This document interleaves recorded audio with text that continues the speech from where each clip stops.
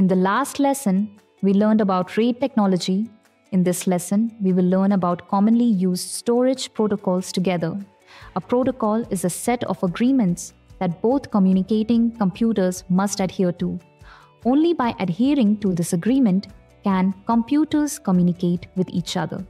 The protocol not only needs to define the language used for communication between the two parties, but also stipulate the hardware used, transmission medium, transmission protocol, and their respective interface technologies.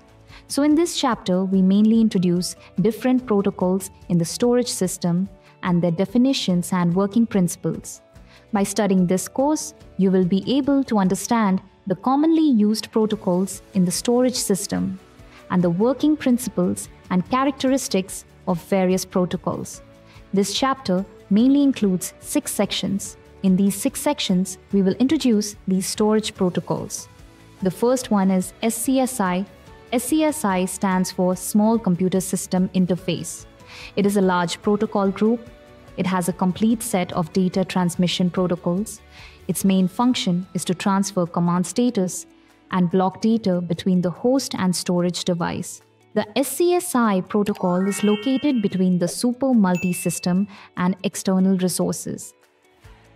With a series of functional components, the operating system's I/O operations on external devices can all be implemented through the SCSI protocol. The SCSI protocol defines the model and necessary specifications for these devices to exchange information. The SCSI protocol essentially has nothing to do with transmission restrictions. It can be implemented on various media, even virtual media, such as the FCP link protocol based on fiber optics, the link protocol based on SAS, etc. From the beginning to the present, SCSI has gone through three basic specifications. The SCSI 1 specification was first launched in 1985. It is no longer in use now this specification can reach a maximum speed of 5 MB per second. The SCSI 2 protocol was launched in 1994. This protocol can be compatible with the old SCSI 1 version. In this protocol, its bus bandwidth has doubled. That is 16 bit, its maximum speed can reach 20 MB per second. SCSI 3 can be compatible with the previous two versions, and this protocol has truly become an architecture the one we use the most now is SCSI 3. The SCSI logical topology includes three parts initiator, target, logical unit. LUN is the namespace resource described in the SCSI target. A target can contain multiple LUNs, and the attributes of each LUN can be different. For example, LUN 0 can be a disk, and LUN 2, 5 can be other devices. For the initiator, SCSI is essentially a CS architecture where the client is called the initiator responsible for sending request instructions to the SCSI target. For the target, the main function is to receive and pass instructions from the host. For example, the role of the disk array is the target. About the SCSI initiator model, the host's SCSI system generally works in initiator mode due to the architecture of SCSI. It is divided into architecture layer, device layer, and transmission layer. So, general operating systems such as Windows, Linux, AIX, BSD, they all divide SCSI into three levels. Here we list the initiator architecture under AIX, divided into these three layers SCSI device driver layer, SCSI middle layer, SCSI link layer. About the SCSI target model, it is usually divided into three levels. They are the link port layer, middle layer, and target device layer. Link port layer, its main task is to unpack and pack SCSI instructions carried on the link. Target device layer, it is an analyzer of SCSI instructions. In the middle layer, it will follow SAM/SPC as the standard, manage and maintain LUN namespace, link port, target device, task, task set, session, etc. In this three layer architecture, the middle layer, it is the most important. SCSI protocol. It is the basic protocol for communication between the host and storage device. Under normal circumstances, SCSI protocol, it is embedded in the device's driver or the onboard logic of the host adapter. like SCSI hard drives, SCSI optical drives, SCSI interface scanners, and other SCSI array devices. They will all go to the host server through the SCSI card and SCSI bus. SCSI bus, it is used for data transmission and communication control between the computer motherboard and the connected SCSI device. In order to address the devices connected to the SCSI bus, the SCSI protocol introduces SCSI device numbers and unit logical numbers. On the SCSI bus, each device must have a unique device ID. Of course, the host bus adapter in the server must also have its own device ID. Each bus, including the bus adapter, allows up to 8 or 16 device IDs at most. Device ID on. The one hand, it is used for addressing. Another function is to identify the priority of the device in bus usage. In addition, the device IDs of different devices connected on the same bus, they must be different. Otherwise, it will cause conflicts in addressing or priority. Each storage device may contain several sub-devices, such as virtual disks, etc. Therefore, the SCSI protocol introduces logical unit numbers in order to address the sub-devices in the storage device. Traditional SCSI controllers connect to a single bus. Correspondingly, it only has one bus number for an enterprise level server, multiple SCSI controllers may be configured, so there may be multiple SCSI buses. After introducing the storage network, each FC HBA or ISCSI network card is also connected to a bus. Therefore, a bus number must be assigned to each bus. They are distinguished by different bus numbers. So, usually, we can use bus number, device ID, and logical unit number to describe a SCSI target. In the second section, we will learn these three protocols. Although the SCSI controller can connect multiple storage devices, forming its own network, but it can only communicate with directly connected storage devices. It can only be used within a local area network. It cannot be shared on Ethernet. Therefore, for the SCSI protocol, the distance of stored data is very limited. Therefore, in order to use the SCSI protocol to store data over long distances, a new technology was developed that is ISCSI. ISCSI protocol, the I represents Internet, referring to the SCSI protocol based on the IP network. For ISCSI, it refers to the combination of the SCSI interface and Ethernet technology. Simply put, the ISCSI protocol still encodes user requests according to SCSI rules.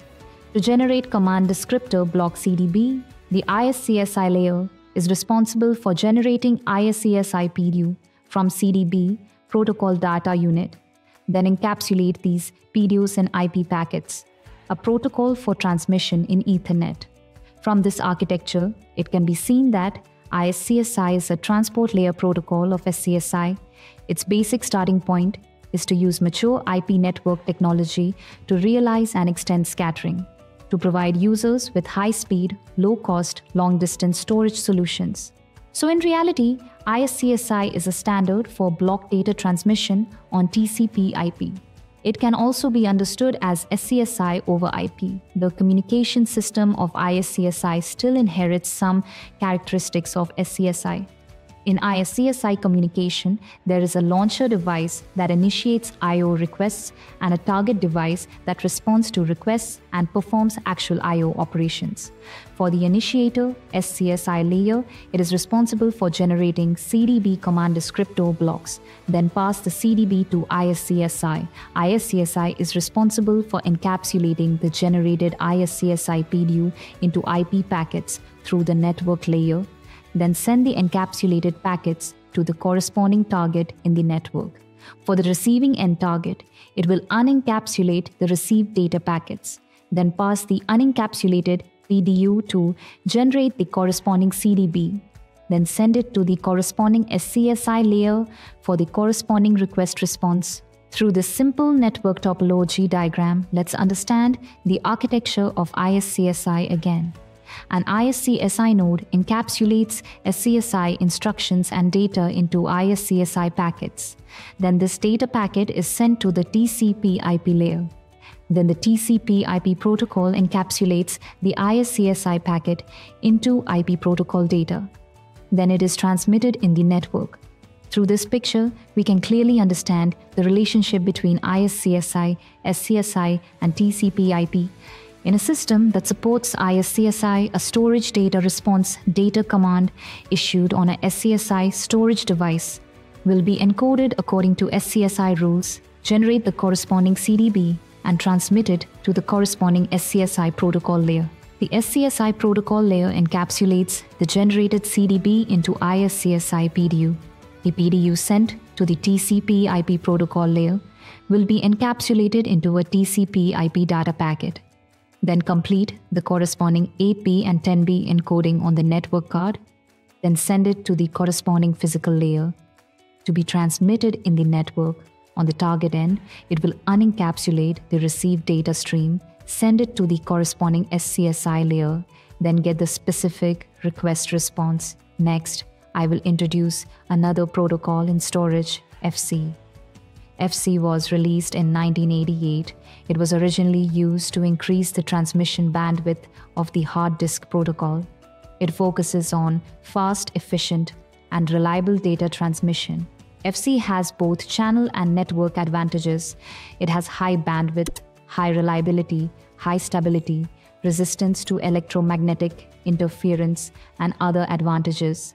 It is now gradually developed to the front end as a host interface and gradually developed point to point switches and those other networking like TCP IP, the FC protocol machine also has its own protocol layer, mainly these layers. FC0 is usually called the physical layer. This layer defines the physical connection. Its main use is to select the different physical media and data transmission rates for protocol operation. In this layer, the commonly used connection lines are copper cables and optical cables. FC1 is usually called the transmission protocol layer or the data link layer. The main function of this layer is to define the way of encoding and decoding. Encoding usually uses the 8B and 10B encoding method.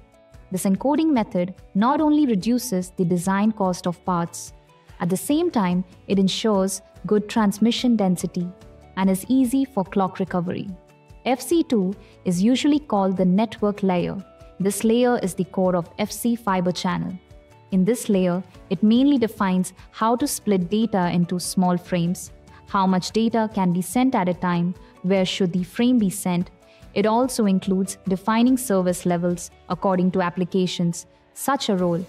FC3 is usually called the common service layer. This layer defines common services, such as data encryption and compression. FC4 is usually called the protocol mapping layer. It defines the interface between the fiber channel and the upper layer application, mapping the performance of the fiber channel to IP, SCSI, ATM, and other protocols. Upper layer applications, such as the serial SCSI protocol. Like Ethernet, FC also provides three topology structures point to point topology structure, FCAL arbitration ring, FC switching network. For the point to point topology structure, it is the simplest topology structure. It allows direct communication between two nodes. It allows direct communication between two nodes. Regarding the FCAL arbitration loop, it is similar to the Ethernet shared bus stop, but its connection method is not a bus. Instead, it is an arbitration loop. Data frames are transmitted hop by hop within the arbitration loop. And at any moment, data frames can only be transmitted downstream in one direction. For example, in the figure, if node A wants to communicate with node H. Then after node A wins the arbitration, it sends a data frame to node H, but the data in this loop must be passed in a clockwise direction, so the data frame sent out by A must be transmitted in the order of A, B, C, D, E to H. It needs to go around a circle, so this method is relatively inefficient.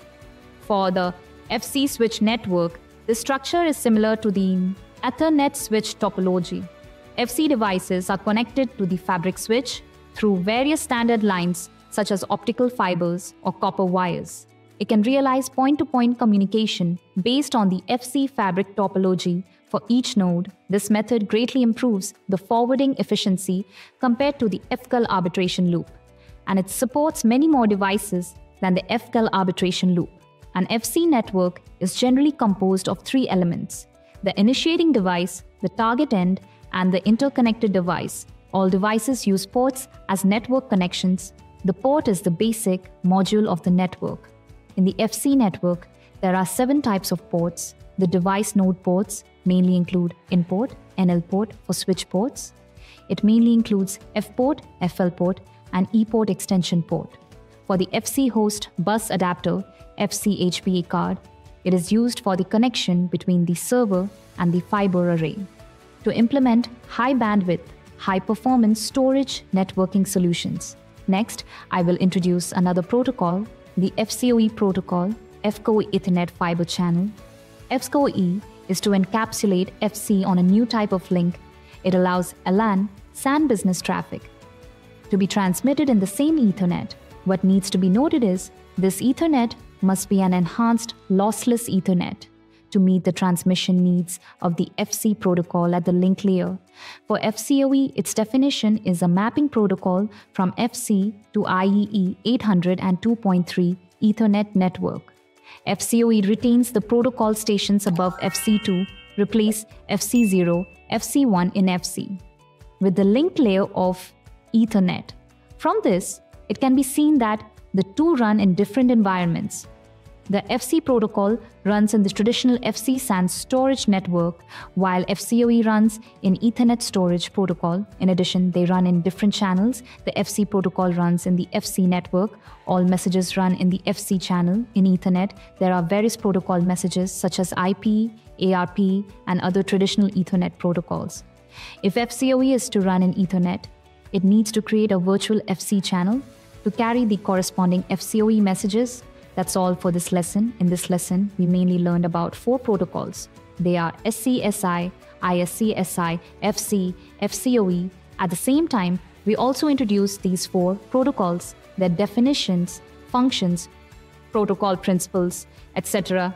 That's all for this lesson. Thank you for learning. See you next time. That's all for this lesson. Thank you for learning. See you next time.